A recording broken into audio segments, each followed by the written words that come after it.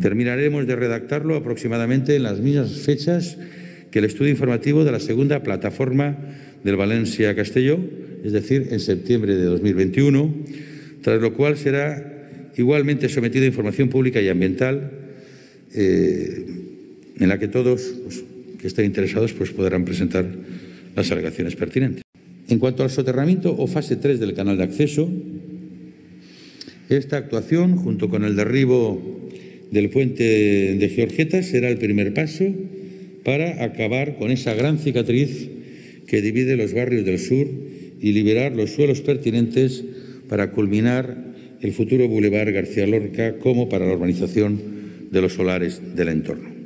Igualmente les informo que actualmente estamos trabajando en el proyecto constructivo del soterramiento del canal de acceso y hemos previsto la licitación de las obras antes de finalizar 2021, así como una asignación presupuestaria, que ya aquí mismo di cuenta de ello, una consignación que figura en los presupuestos generales para el año que viene de 52,8 millones. En esta ocasión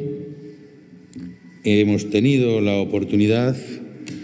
eh, también la presidenta de ADIF, el secretario general de Infraestructuras, que me acompañan en esta ocasión, de presentarle al presidente de la Generalitat y al alcalde el conjunto de actuaciones que englobarán eh, lo que nos gustaría llamar metamorfosis urbana de Valencia. Y quisiera compartir también, tanto con ustedes como con el resto de ciudadanía, los resultados de este trabajo. Recuerdo que hace dos años, encontrándonos también el alcalde y el presidente de la Generalitat en la apertura de la primera fase del Parque Central, anuncié que estábamos trabajando en la firma de un nuevo acuerdo interadministrativo. Acuerdo con el que meses después, en marzo de 2019, las tres administraciones firmábamos las bases del desarrollo de las tres actuaciones que transformarán la ciudad. La fase 3 del canal de acceso, la estación central y el túnel pasante. Unas actuaciones que no solo avanzarán en la integración del ferrocarril en esta ciudad, favoreciendo también la integración de los barrios de Rusafa y Malilla,